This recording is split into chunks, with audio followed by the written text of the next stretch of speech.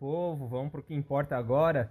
Já faz acho que uma semana, quase duas semanas que eu fiz aquela despesca, né? Então a nossa tabela de controle de viabilidade está bem mais atualizada, tá? Então assim, é... acho que no vídeo eu falei que foi dia 11, né? Que eu gravei o vídeo lá com a despesca. A gente já tá hoje, agora dia 20. É... E eu tô correndo aqui para poder lançar esse vídeo aqui para vocês, tá? Eu vou dar uma filmadinha na minha tela para para passar para vocês explicar a nossa planilha. Ó, vamos lá. Só para vocês entenderem como que funciona a minha planilhinha aqui.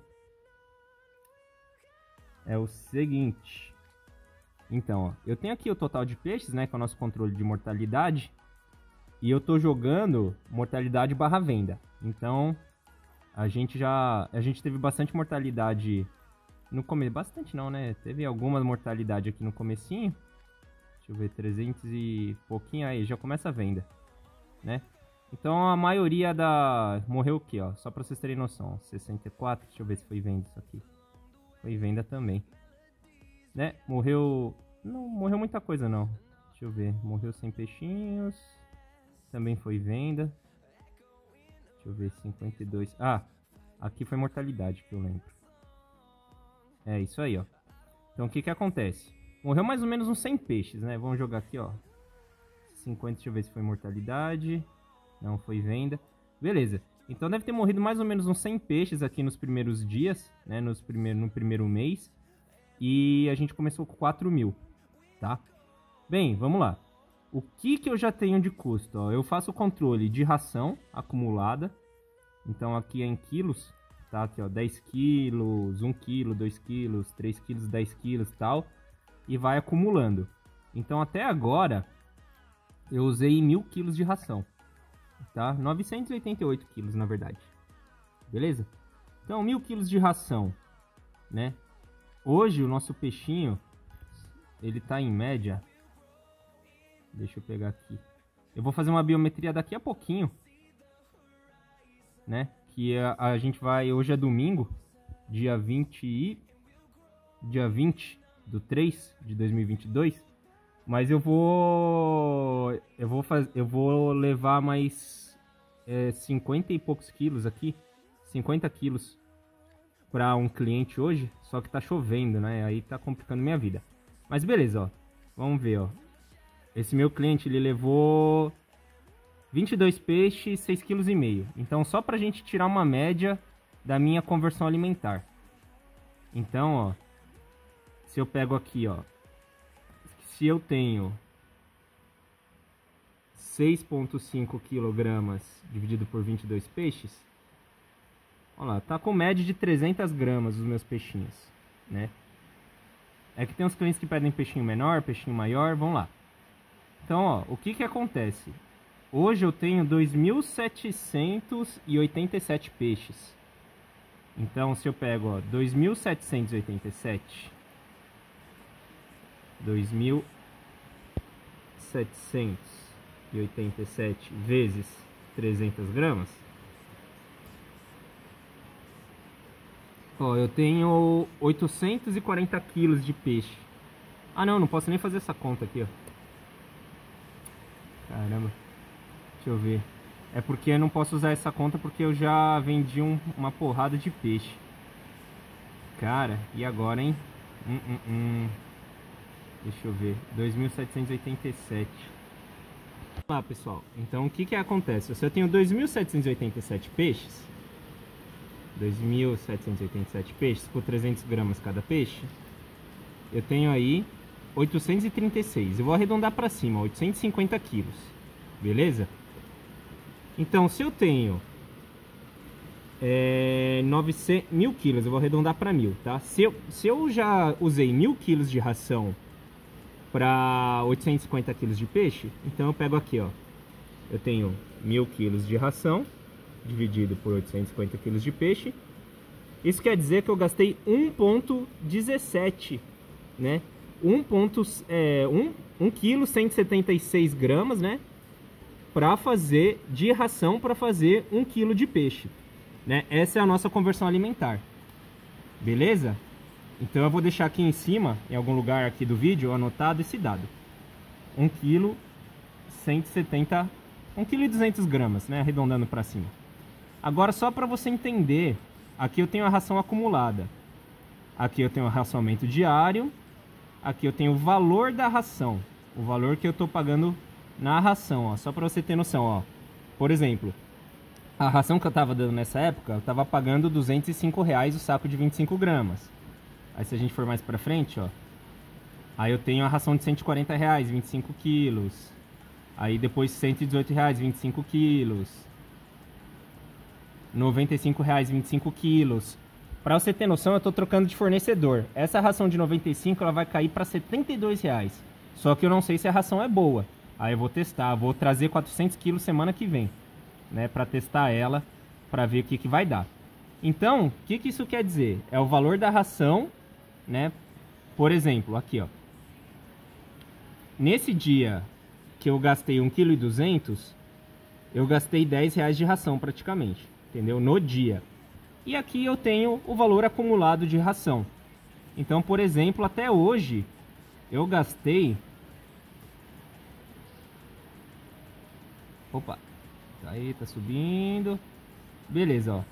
Eu parei dia 12, tá? De alimentar esses dados. Eu tenho que jogar... Que eu anoto lá naquela lousa lá no fundo. Eu anoto as coisas da piscicultura, né? E ainda não deu tempo de eu lançar. Mas enfim. Então eu gastei por enquanto R$ 4.200 de ração, beleza? Aí eu tenho aqui os custos fixos e os custos variáveis. Né? Aqui eu não pago aluguel nem nada, é bem tranquilo. E só uma coisa interessante, ó. 800 reais, o que, que é esse 800 reais? Eu coloquei aqui, ó, 880, né, na verdade. Eu coloquei aqui, ó, compra de alevinos. Na verdade, esses alevinos eu não gastei isso porque eu produzo os nossos próprios alevinos aqui, tá? Mas eu joguei para vocês terem uma noção que seria mais ou menos o que vocês pagariam comprando comigo, que é 4 milheiros a 220 reais. Beleza? Bem, custos variáveis, o que, que é isso aqui? É o Redox que eu usei para inocular. Na verdade eu coloquei um quilo aqui, mas é meio quilo, tá? Meio quilo de Redox que eu usei para inocular o nosso sistema. Fechou? Ainda tem lá sobrando. Aqui eu coloquei as embalagens. Aqui eu coloquei a terramicina. Terramicina é antibiótico, tá? Pra você que ainda não tá por dentro. Aí, ó. Beleza, ó. Aqui foi minha primeira conta de luz, né? A do dia 11, né? O seguinte, gente. A conta de luz, como que funciona? A conta de luz aqui, pra mim, é, vem junto a conta de luz da minha fábrica, tá? Vem junto a conta de luz da minha casa, que a gente mora aqui dentro da fazenda, e vem a conta de luz da criação de peixe. Então eu joguei tudo para criação de peixe, tá?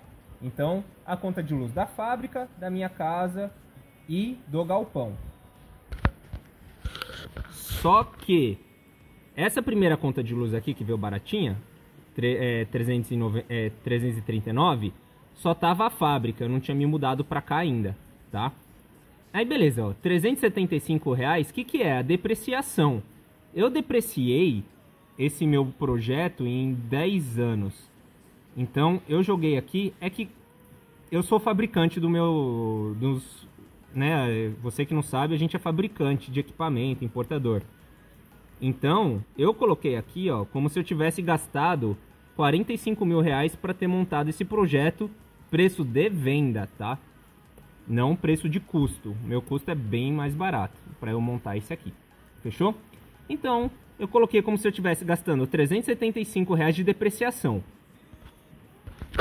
Para você que não sabe o que é depreciação, a depreciação é a mesma coisa que um custo de manutenção mensal, né, por um período. Por exemplo, eu, o que, que eu quis dizer com gastei 45 mil reais para montar meu projeto e minha depreciação é 375 reais em 10 anos.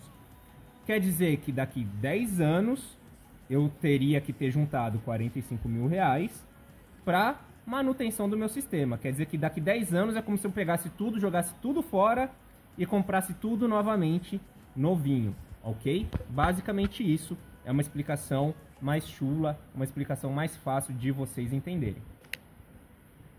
Bem, e vamos lá. Então, aqui, os meus custos fixos, eles são compostos pelas conta de energia da fábrica, da minha casa e do projeto, mais depreciação. Aí você vai ver que a conta de luz vai aumentando com os meses, né? Ó, tá 339, aí 355. Aqui foi quando eu me mudei aqui para minha fazenda, tá? Aí, ó, 431. Aí foi subindo, né? Que aí a gente vai ligando mais motor, tudo mais. 980. 957. Eu acho que essa foi a última que eu recebi. É isso aí, ó. A última conta de luz que eu recebi foi essa aqui, 957, que eu paguei esse mês. Né? Eu paguei lá dia 24. Beleza? Ah, bem, ah, vamos lá. Então, essa aqui vai variar muito com o que eu gasto lá em casa e na fábrica também, tá? Bem, beleza. E nós temos aqui os custos variáveis. Né? O custo variável é gasto, por exemplo, esse aqui é produto para inocular o nosso sistema de filtragem.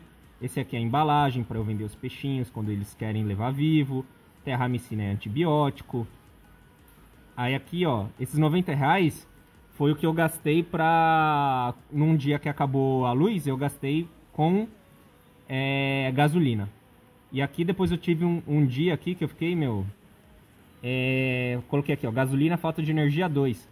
Aqui eu fiquei muito tempo sem, sem energia. Foi esses dias aqui, ó. Quer ver, ó?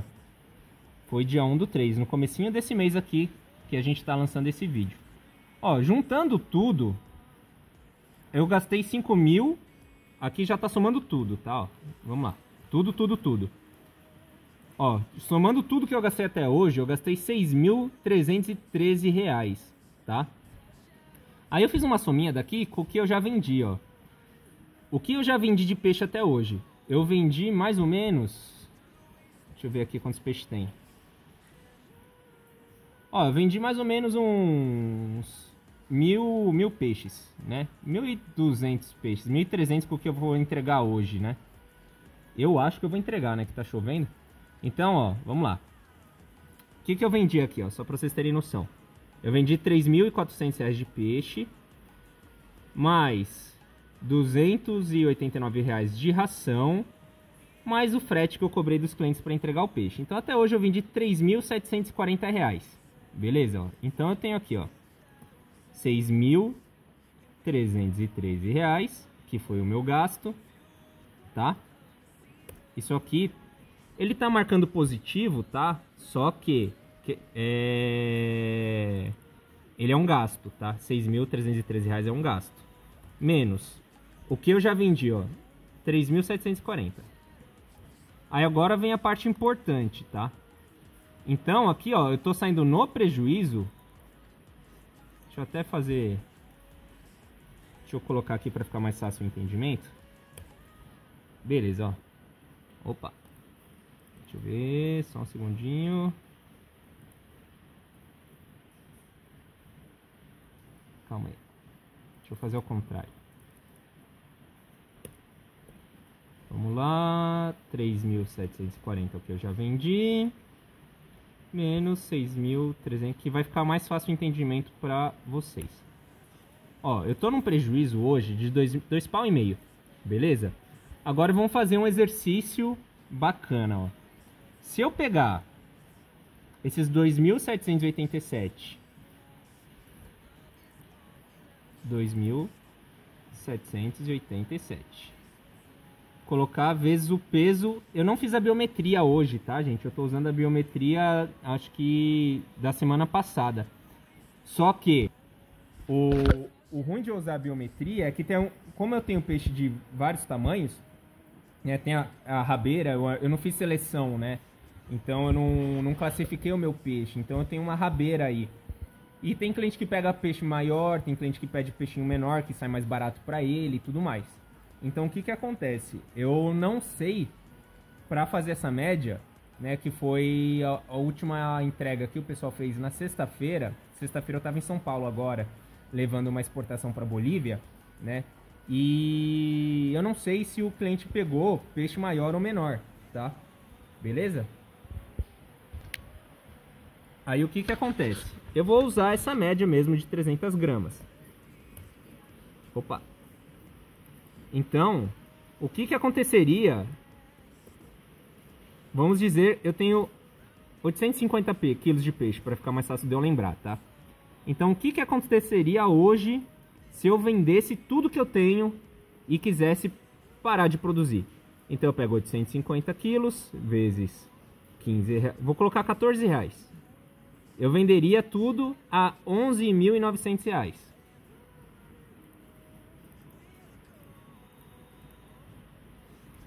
Mais 11.900. Opa, calma aí. Calma aí que eu somei no lugar errado. Mais 11.900. Beleza? Ó. Então hoje eu teria um lucro Deixa eu apagar aqui para não confundir vocês. Hoje eu teria um lucro líquido de R$ 11.226 num cultivo de... Deixa eu ver quando que eu comecei a contar aqui. 3 do 11. Mês 11, mês 12, mês 1, mês 2, mês 3. Então, em 5 meses, eu teria feito basicamente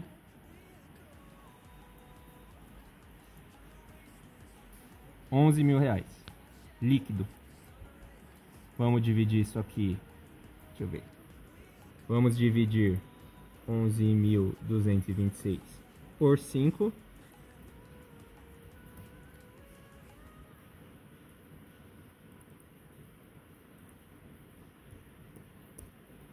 seria um lucro líquido de R$ 2.240 mês.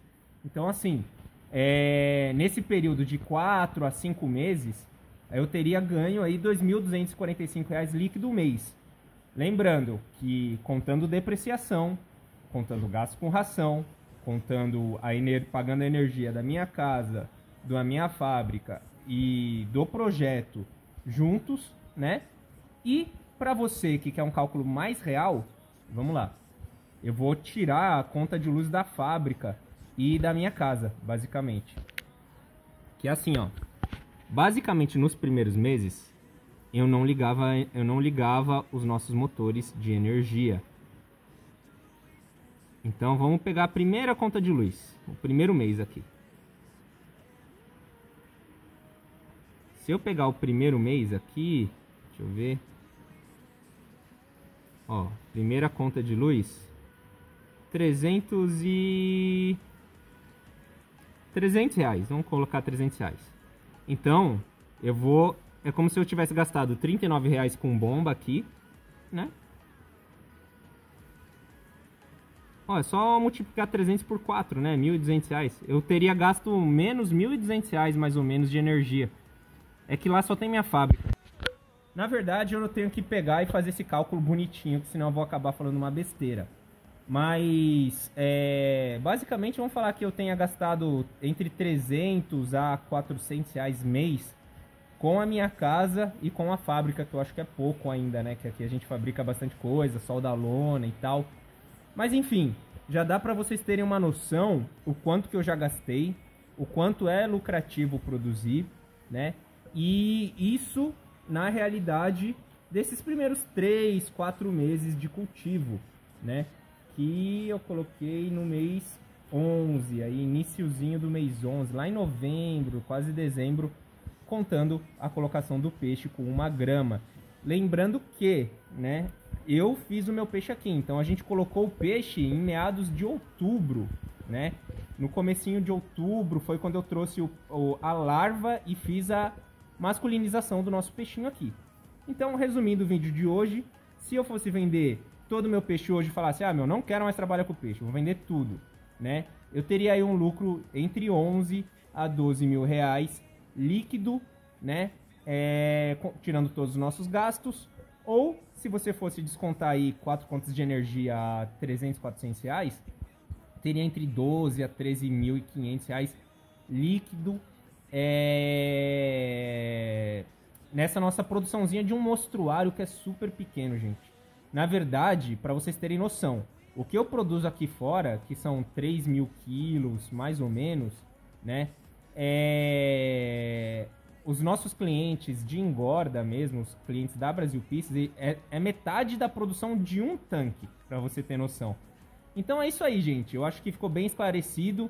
A, a minha perspectiva aqui da Fazenda é, Vida Chácara Lucrativa para nossa chácara aqui é na Semana Santa vender tudo, porque para vocês terem noção, é, eu fiz um acordo com os meus funcionários de dar uma comissãozinha para eles e eles venderam nosso peixe a 15 reais é, aqui nos bairros. Então já tem mais de 150 quilos encomendado para segunda-feira. Então assim, é, a gente, eu acho que até a Semana Santa vai estar tá praticamente 100% vendido. Né? Isso só vai atrapalhar bastante o meu ciclo, que eu queria tirar esse primeiro ciclo de pesca total e depois fazer a, a produção mensal, né? Pra gente sempre ter um peixinho gordo, eu também vou produzir aquaponia agora, né? Eu não contei para vocês, mas aqui na Vida Chácara Lucrativa, aqui na chácara da Brasil Pieces, a, já tá dando banana, tá bem legal a nossa produção de banana. A pera já tá saindo pera. A, a gente já começou com, os, com as ovelhinhas, né? Eu já peguei cinco ovelhas aí, a gente tá fazendo a engorda, tá aprendendo, quebrando a cabeça por enquanto com as ovelhinhas. Mas vai ter bastante novidade por aí. Eu acho que tava faltando um vídeo desse, um vídeo sério, um vídeo de quem entende, mostrando os custos bem detalhadamente no é, na internet, né? Porque a gente vê muita pessoa é, falando de lucratividade e tudo mais, e muita gente que não entende, cara, passando um monte de balela. E assim, saiba de uma coisa: não existe segredo, não existe mágica. Existe trabalho duro, existe trabalhar com pessoas sérias e ganhar o seu dinheirinho. Que eu falo assim, se produzir peixe desse a lucratividade, desse a produção, que tem gente aí que promete, meu, 200, 300 quilos por metro cúbico, é coisa de doido, cara. É... Meu, ninguém tava trabalhando, tava todo mundo produzindo peixe, pô. Porque é a coisa mais fácil produzir peixe. Né? Aqui a gente não gasta, meu, não gasta meia hora, uma hora por dia para cuidar dos nossos peixinhos e dá esse puta de um resultado de, meu, 11 mil líquido aí em quatro meses sem trabalho nenhum. Beleza, gente? É isso aí. Trabalhe com os melhores, trabalhe com a Brasil Pieces. Qualquer dúvida, nossos contatos estão aqui no final do vídeo. Valeu!